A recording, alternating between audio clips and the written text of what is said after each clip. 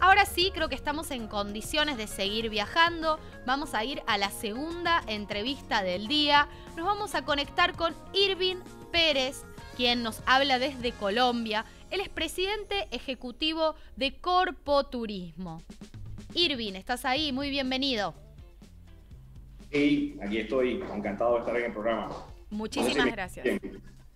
Gracias por tu tiempo, Irving. Realmente vamos a empezar hablando un poco de corpoturismo. Contanos cuáles son los objetivos de la empresa y las actividades más importantes que realizan. Claro que sí, Corpoturismo es una entidad de, gobierno, de gestión de gobierno, es una entidad mixta, es una alianza público-privada entre el eh, Distrito de Cartagena, que es la ciudad turística más importante de Colombia, y el sector privado. La componen, digamos, todos los empresarios, agremiaciones de empresarios, es decir, las, las, la Asociación de Hoteles, de Agencias, la Cámara de Comercio, el aeropuerto y el puerto de Cartagena. Es decir, todo el, es como un clúster turístico eh, en, en, alianza con el sector público y eh, administran y, digamos, gestionan toda la parte eh, de promoción y gestión del destino. Buenísimo. Y, en esta etapa, ¿no? Tan particular, tan importante, ¿cuáles fueron los puntos clave a tratar, a negociar, a, proponer para, para, poder sostenerse, ¿no? En actividad, para poder potenciar el destino y ayornarlo y transformarlo para que hoy, eh, en la lenta reapertura, continúe Cartagena de pie. Claro, son cuatro fases básicamente en las que nos concentramos. La primera, por supuesto, que hace parte de la estrategia del mismo gobierno nacional del país de retener el empleo, es decir, tratar de, que las empresas en la recesión, Cartagena fue de las primeras ciudades que, que acató el confinamiento, inclusive mucho antes de las medidas del gobierno nacional. Una semana antes Cartagena había suspendido toda actividad y había cerrado sus fronteras literalmente, suspendido vuelos y suspendido los cruceros. Eso evidentemente se pensaba que era por unos 15, 20, 30 días máximo y pues logramos sobrevivir seis meses y por supuesto esas primeras estrategias estuvieron apalancadas muy desde el gobierno nacional a preservar el empleo, a subsidiar las nóminas de las empresas turísticas, a sacar créditos para que se pudieran sobrevivir las empresas y de cierta manera eh, sobrevivir literalmente. Luego una segunda fase empezamos a entender que la actividad turística, sobre todo en Cartagena, iba a cambiar, que ese nuevo cliente iba a estar muy dispuesto y pensando en el proceso de la bioseguridad y empezamos a trabajar fuertemente en que todos los prestadores de servicios tuvieran protocolos de bioseguridad y cada uno de los prestadores de servicios de la ciudad hoy tiene unos protocolos muy claros, eh, enmarcados y avalados por el Ministerio de Salud de, Colombia y luego empezamos una fase gradual de apertura, de ir haciendo pilotos, perdón, pilotos específicamente, eh, para luego arrancar con la reactivación aérea, que fue nuestro primer propósito. Fue, eh, digamos, en septiembre empezamos un proceso muy fuerte de reiniciar la conectividad aérea nacional y ya luego el 19 de septiembre tuvimos el primer vuelo internacional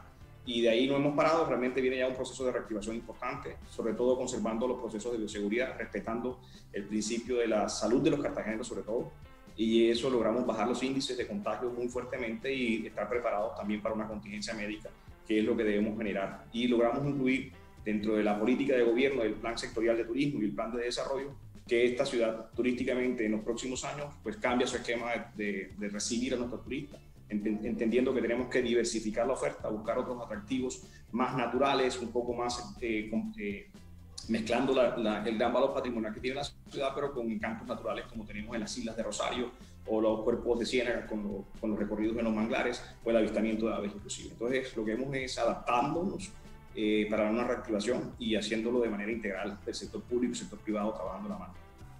Irving, sé que quizás es un poco apresurado, pero ya que desde septiembre están pudiendo lentamente activar, trabajar, ¿cómo están ahora en el presente? ¿Cómo están pudiendo trabajar? ¿Qué actividades están pudiendo realizar? ¿Desde dónde están recibiendo visitantes también? Y en todo esto que me has contado, las, propuestas sobre las que trabajaron en etapa pandemia, ¿cómo están eh, vislumbrando los resultados? Estos estas primeras respuestas, estos primeros resultados son favorables. Sí, la verdad estamos sorprendidos de que ha habido una reacción. La verdad teníamos la, urgencia de arrancar. Realmente, literalmente lo que queríamos era arrancar, entendiendo que era un proceso lento. Cartagena tiene más de 16.000 habitaciones hoteleras. De esas 16.000 habitaciones hoteleras, todas suspendieron actividad. Quedábamos con un 10% eh, más en actividades de, de la misma pandemia, de la misma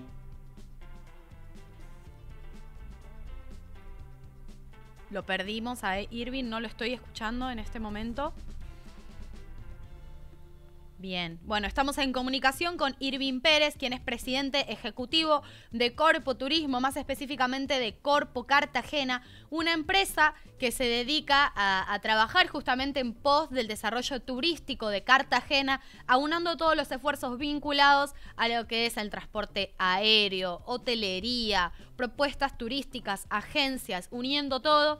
Obviamente si quieren visitarlos y saber más sobre esta eh, empresa, cartagenadeindias.travel es su página web. Bueno, estamos dialogando un poco con él, las estrategias que han empleado en, en etapa de pandemia y, también, bueno, como ellos desde septiembre están pudiendo empezar a operar con los primeros vuelos, recibiendo los primeros visitantes, estábamos hablando un poco sobre cómo están viendo estos resultados. Él estaba haciendo un fuerte hincapié en la recuperación de puestos de trabajo que como venimos compartiendo es la clave. Absolutamente la mayoría de las empresas, agencias, todo lo que es vinculado al turismo, el, gran propósito es poder recuperar eh, puestos de empleo ya que como decíamos durante la semana pasada, son muchísimos los puestos de trabajo que se están perdiendo eh, a, través de, esta situación tan difícil que estamos viviendo. Bueno, seguramente en, unos segunditos nos vamos a poder volver a reconectar con Irving para, para seguir dialogando. Y en el día de hoy, como les contaba, vamos a dialogar un poco, y le voy a preguntar también su opinión en la medida de lo posible, vamos a dialogar un poco sobre lo que son los eh, circuitos seguros, ¿no? O corredores seguros. Y, la pregunta, eh, este informe, también lo, extraigo desde la, desde la página Hostel Tour, una gran página para, para, informarse sobre el turismo, con los análisis más, más requeridos en el día de hoy. La pregunta es, ¿es posible construir corredores seguros entre Europa y el Caribe? Desde el Vamos les explico para quienes no sepan que estos corredores seguros justamente tienen que ver con rutas aéreas que conecten en lo posible, en el mejor de los casos, dos destinos con un muy bajo índice de contagios en COVID o que quizás ya hace mucho tiempo que no lo tienen. Como suele suceder ¿no? con, la zona del Caribe, y lo, y lo hemos hablado en este programa. El Caribe en general está conformado por islas, eh, el índice de contagios en general ha sido bastante bajo. Así que bueno, nos vamos a meter un poco en ese tema. Volvemos con Irving ahora, con quien también voy a dialogar de esto en breve nomás. Irving, te escucho de nuevo, así que sigamos entonces con, con estos eh, incipientes resultados que están viendo. Sí, qué pena la, interrupción. No hay problema. Pero comentaba que, que, no teníamos muchas expectativas si no queríamos era abrir. Como todas las ciudades y todos los países, eh, ante una recesión tan fuerte, lo que, estábamos a iniciar. Pero la reacción fue muy, muy, muy importante. Inclusive este último fin de semana, que fue puente festivo, logramos unas cifras importantes ya de visita de pasajeros, inclusive logramos los, los 20.000 pasajeros movilizados por vía aérea.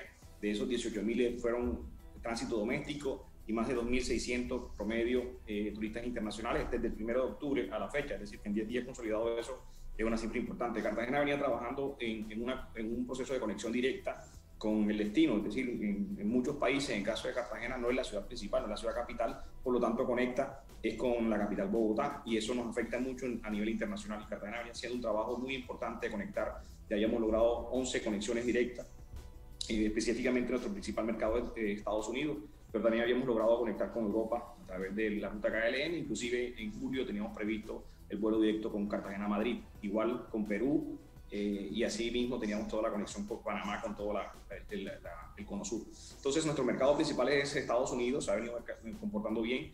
Eh, también tenemos eh, turistas mexicanos y chilenos, es básicamente lo que más registró en este, en este proceso de, de, de reapertura. Sin embargo, el mercado doméstico ha sido fundamental. Eh, se han movilizado mucho, han superado nuestras expectativas y hemos empezado a reactivar también la ocupación hotelera. Yo comentaba que tenemos como 16.000 camas hoteleras, más 6.000 más departamentos turísticos. Es decir, que una oferta muy importante que había quedado totalmente en, cero, en menos del 10% de ocupación. Por lo tanto, haberla reactivado y llegar a unos niveles de más del 14% en este proceso eh, de inicio y de arranque ha sido fundamental. Absolutamente, Irving. Eh, justamente yo eh, quiero proponer eh, este diálogo ahora cuando estemos terminando nuestra entrevista, nos vamos a meter en un análisis justamente sobre los corredores seguros, ¿no? Que es esto de lo que estamos hablando un poco, porque vos me cuentas que uno, uno de los de los principales, de los perdón, la mayor cantidad de turistas están ingresando de Estados Unidos, pero también desde Europa, y has visto que en, en lo que tiene que ver con aerolíneas, con transporte aéreo, se habla mucho de la posibilidad de generar estos eh, corredores seguros desde Europa, sobre todo, hacia el Caribe, porque el Caribe también, y, lo tenemos que resaltar, en su gran mayoría, por las características que estamos mencionando, que tienen que ver con destinos naturales, también islas, lugares como más cerrados, se ha podido, eh, en general, ¿no? sostener un índice de contagios bajo, se ha, se ha podido controlar un poco más. Comentame un poco qué opinas de esto y también, sobre todo, que también lo has mencionado, eh, no, no desde el peligro justamente de los europeos desde el Caribe, sino al revés, de las comunidades, en este caso de la comunidad de Cartagena, recibiendo a estos, a estos turistas desde, desde quizás hasta grandes ciudades, ¿no? Sí, claro, mira, yo estoy muy de acuerdo en todo el proceso de corredores bioseguros, es decir, es la estrategia que, mejor puede funcionar, sobre todo, eh, además entendiendo que esto ya es un proceso donde el autocuidado y la responsabilidad individual va a primar sobre cualquier decisión. Es decir, sabemos que ya no es una pandemia, sino que ya tenemos una enfermedad endémica, es decir, que el eh, está en todos nosotros y, ya depende, ya depende. Realmente no va a ser un turista que nos va a contagiar ni nosotros viceversa, es decir, ya puede construir y el proceso tiene que estar en, el autocontrol. Pero sí hemos logrado, por ejemplo, en, en, en Colombia en particular, pero Cartagena tiene dicho por, por el mismo ministro de Salud, la curva perfecta de un contagio donde tuvimos un pico muy alto, pero que hoy estamos en unos índices muy controlados, eh, muy bajos realmente, muy bajos, que ha permitido además preparar a la ciudad en todo el, el, tema hospitalario, es decir, tener una respuesta oportuna ante cualquier emergencia, tener las camas disponibles para atender no solo a, los cartageneros, sino también a los turistas. Pero sobre todo, y creo que eso es fundamental, más que estar preparados en eso, es el concepto de la bioseguridad en la prestación del servicio eh, es decir, aquí pues la pedagogía ha estado permanente, no solo en los barrios, sino también en las calles con los turistas, con todos nosotros y el proceso de apertura ha sido gradual. Es decir, tenemos pilotos por sectores, pilotos en la gastronomía, pilotos en playa, nos ha permitido repensar el destino y reorganizar eh, esa oferta turística que la verdad eh, antes de pandemia pues la teníamos un poco saturada. Sobre todo el concepto de, capacidad de carga, no medida, no tanto en la medida, sino en la diversidad. Entender que tenemos que tener flujos de, personas movilizándose en nuestro centro histórico, pero también en otras zonas importantes de, la ciudad. Y eso es gestionar, eh, digamos, el flujo de pasajeros que nos va llegando e ir aperturando más actividades en la medida en que vamos teniendo el mejor comportamiento. El tema de los cruceros en que todavía no estamos pensando en abrir eh, la ciudad hacia los cruceros, pero que en su momento irá teniéndose en cuenta también con el comportamiento mismo de, de las líneas de, crucero. Es decir, Cartagena tiene muchas opciones para ir adaptándose a este proceso eh, turístico, pero sobre todo lo que nunca eh, ha estado en duda es generar un proceso de confianza hacia el visitante, pero sobre todo, sobre todo, variedad y diversidad para aquellos que nos visiten. Absolutamente. Eh, te quería preguntar, los visitantes que están pudiendo recibir ahora o desde septiembre, ¿qué, ¿cuáles son las propuestas en Cartagena que más eligen? ¿Cuál es, o, ah, si podríamos... Está, perfecto. Indudablemente tenemos, perdón que te interrumpa, no, no.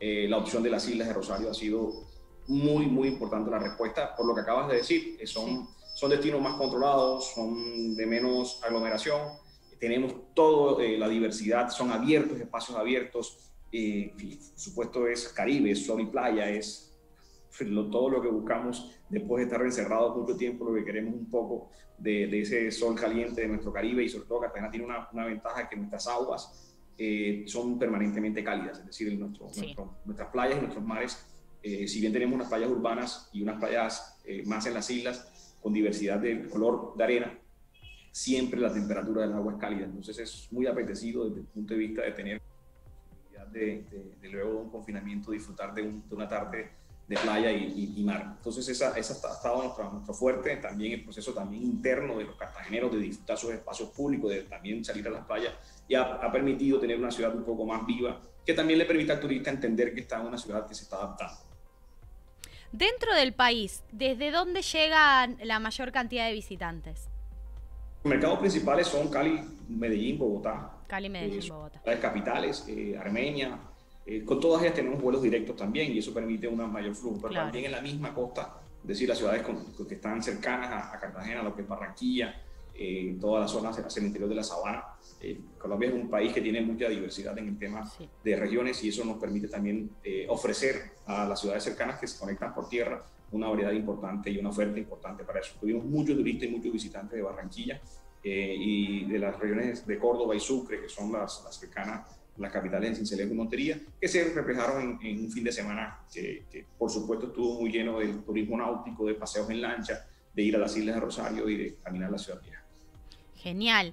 Eh, bueno, hace, un momento estaba mencionando la página web cartagenadeindias.travel que realmente aúna muchísima información sobre el sitio, de todo lo que te imagines. Y estaba viendo la agenda de eventos que están propuestos para noviembre y diciembre. Y quería saber justamente, para nombrar, no estoy hablando por ahí del concurso nacional de belleza, fiestas de independencia de Cartagena de Indias, festival del pastel si están eh, esperando poder realizarlas de manera presencial y por ahí algunas características de lo que están teniendo en cuenta a la hora de, realizarlas presencialmente siempre que se pueda.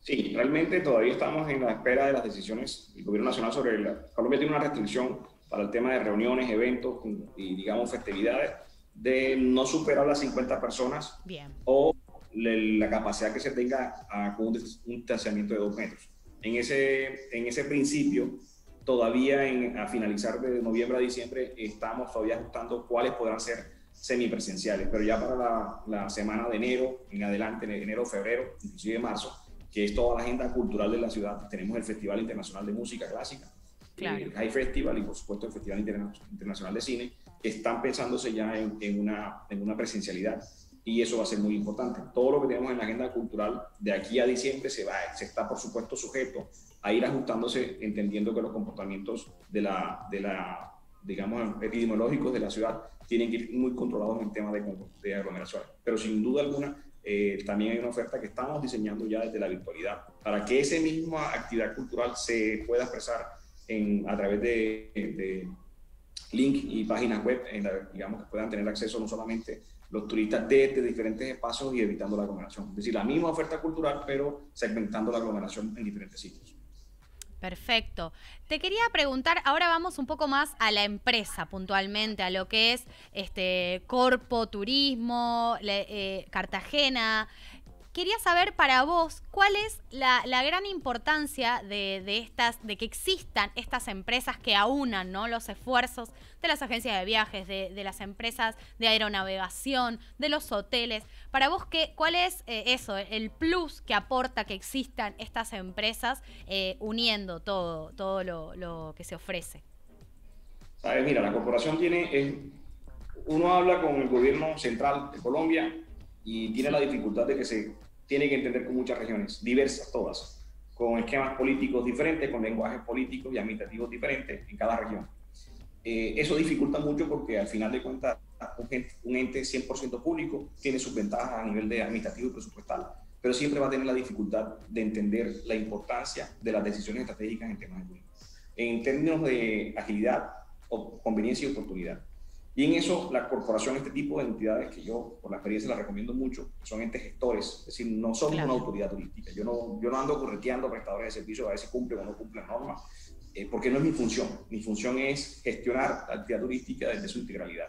Entendiendo que se requieren unos procesos de infraestructura turística, que se requieren unos procesos en calidad y sostenibilidad del destino, y por supuesto una operatividad que da el día a día de entender qué situaciones que van a afectar eh, al turista, pero también entender que dentro del proceso de la administración pública requieren tomarse decisiones para que todo suba mejor. Entonces nosotros podemos tener ese híbrido, híbrido perdón, donde podemos entender a un sector, dialogar en el mismo, digamos, lenguaje, traducir y llevar a la administración pública la necesidad concreta que tiene un sector. Y viceversa, traer las decisiones públicas a nivel político eh, y hacer el diálogo con el sector privado para que se entienda que al final esto es una suma de consensos, de entender que el destino necesita sobrevivir eh, a partir de una actividad turística, una actividad económica que es el turismo, que genera el 30% del empleo y que hoy le permite a, a, Cartagena como municipio, como administración, de vengar y sostenerse a través de los impuestos y demás el 15% de la tributación del sector turístico para sostener toda la inversión social y pública que se hace en la ciudad. Entonces es una entidad que permite estar dentro de una administración, pero entender también la importancia de las decisiones del sector privado. Y de esa manera se comporta. Eh, no es una entidad que tenga 100% su, su actividad regida por los derechos de administración pública, pero tampoco escapa a los principios de la, de la transparencia y de las decisiones públicas que deben tomarse. Bien, muy claro, Irving, realmente. En otros lugares de, de Colombia, en otras regiones, también existe así un, un corpo turismo de, de, otras regiones. Sí, se han tomado ejemplos eh, en otros destinos todavía nacientes, muy, muy recientes. Eh, Cartagena, eh, Cartagena, ha sido pionera en esto. Es, esto se, digamos que la figura que se tomó es la misma figura que existe en muchos países para que eh, existan entidades de carácter mixto, pero con funciones comerciales. Es decir, eh, las empresas de servicios públicos que, hacen alianzas público-privadas para llevar el agua, el acueducto, gestionar la electricidad. Pero esta entidad no, no comercializa, realmente es un ente gestor, es, es como una especie de fundación de gobierno, si pusiéramos entender en, en, en los conceptos generales, pero lo que permite como tal es eh, ir replicando el modelo eh, con unas deficiencias también. Tenemos que entender que al no ser 100% público, pues la, el proceso sancionatorio de autoridad que muy, muchas veces se exige para el control, pues dependemos de otras dependencias. Pero yo, nosotros aquí somos claros en que en principio de un destino de gestión turística, eh, la base de, de, poder hacer las cosas bien es que todo el mundo entienda que en el territorio se toca y se tiene que hacer y pensar en función de la actividad principal que es el turismo. Y en eso pues la base fundamental no es que exista un solo ente que articule todo, sino que exista un lenguaje eh, transversal en toda una administración pública para entender de qué ese es el principal eh, sustento de muchos cartageneros. Absolutamente, muy interesante. Por último, Irving, para, para cerrar esta conversación, te quería pedir que me cuentes un poco sobre la política de sostenibilidad en Cartagena fundamental. Nosotros entendemos que, y, y, y, nos lo reforzó todo este tema de la pandemia y del confinamiento, pues todos queremos que un destino vaya creciendo en cifras y, en, y, entre más vayan creciendo se supone que hay un, un, buen comportamiento de la actividad económica, pero eso tiene que estar equilibrado. Y en eso, eh, destinos como Cartagena, donde eh, las actividades tienden a, a soportar mucho el empleo, pues evidentemente siempre está la tentación de sobresaturar el destino, no solo en función del turista que nos llega, sino también de las actividades que se ofrecen y, puede ir abusándose en procesos de informalidad.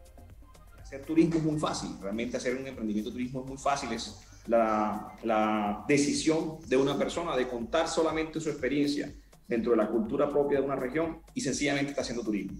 Pero eso tiene unos niveles muy importantes donde entender que no se puede regalar ni vender la cultura, no se puede feriar en el buen sentido de la palabra las tradiciones propias, sacrificando eso para tener a un visitante contento. Entonces tiene que haber unos puntos muy importantes de equilibrio. No se puede saturar el destino entendiendo que va a haber una afectación ambiental o no se puede saturar el destino entendiendo que puede haber un desplazamiento de la población local y las costumbres propias se empiezan a perder. En eso Cartagena ha venido trabajando y sobre todo en un proceso de certificación en sostenibilidad del centro histórico. Nuestro centro histórico es un área urbana muy grande, muy, muy grande, sí. eh, que ha tenido reconocimientos internacionales, pero que además es una, es un, una pieza viva desde el punto de vista de que convergen actividades como la vivienda, el comercio y la actividad turística. Y evidentemente todo el mundo quiere ir a hacer algo al centro histórico. Sobre ese principio hemos tenido que hay que hacer un proceso propio de revaloración de las actividades culturales del destino, reconocernos como cartageneros y apropiarnos y además sentirnos orgullosos de eso mismo bajo un proceso en donde la, inclusive la imagen del destino que vendíamos antes era una imagen donde solamente mostrábamos lo suntuoso y lo bonito que eran nuestras instalaciones, pero empezábamos a desconocer también ese proceso de identidad propia y cultural que es, que es la que nos hace tan auténticos. Y eso empezamos a hacer un proceso de revaloración en el que venimos trabajando y sabemos que es por mucho tiempo, pero que al mismo tiempo también requiere eh, diversificar, es decir, entender que no, solo, pues, no todo tiene que estar aglomerado ahí, sino que tenemos elementos importantes para rescatar de nuestras comunidades. El principio básico, como todo el mundo quiere ir al centro, todos llevan oferta al centro. Entonces, el principio básico también de la sostenibilidad en el destino para Cartagena es hacer llevar esa oferta a otros destinos para que no todo el mundo vaya a buscar algo que hacer y vender en el centro histórico. Y entonces estamos potencializando otros, otros sectores con atractivos turísticos mucho más complementarios de la naturaleza, de la propia cultura, de la expresión cultural, llevar el turista a los barrios, a un mercado, eh, a las otras islas, eh, potencializar las playas En, fin, el principio básico es la diversificación de esa oferta buscando en términos de sostenibilidad no recargar los, los espacios turísticos, ordenar los demás y tener un proceso de desarrollo turístico más sostenible. Bien, está muy claro, sí, sobre todo también que, bueno que, que, este proceso en Cartagena lleve su tiempo, pues ahora, hoy en día, como venimos hablando en la conversación también, esto, ¿no? De que hoy, por antes, por ahí en realidad los turistas hacían como un tour eh, por varios sitios del Caribe colombiano o, o inclusive entre otros países ahí del Caribe y que quizás ahora justamente hay que diversificar los destinos porque el turista va a ir buscando quedarse quizás ahí más tiempo cómo lo recibo, qué le puedo proponer y cómo puedo, bueno, justamente eh, hacer más sostenible este espacio y que no se vea afectado. Muy rica la, conversación realmente de información. Muchas gracias Irving por tu tiempo y bueno, espero que eh, así como han empezado, sigan y no se detengan en, crecimiento y en trabajo. Pues también para nosotros es un gusto y además aprovecho el espacio para hacer la invitación, que todos vengan a este hermoso lugar. La verdad, es que Cartagena tiene muchas historias donde la conclusión de ellas es que te puedes quedar aquí fácilmente. Si, si no, no tienes claro que debes regresar a tu destino de origen, te quedas viviendo aquí. Es un lugar maravilloso para estar, es un lugar que realmente invita a la reflexión, al pensamiento, tiene una magia un romanticismo y no por, no por nada nuestro premio Nobel García Márquez inspiró la mayoría de sus obras en, en toda la magia que se respira aquí, desde un día brillante de sol hasta una tarde de lluvia termina siendo romántica en esta ciudad. Doy fe. Muchas gracias.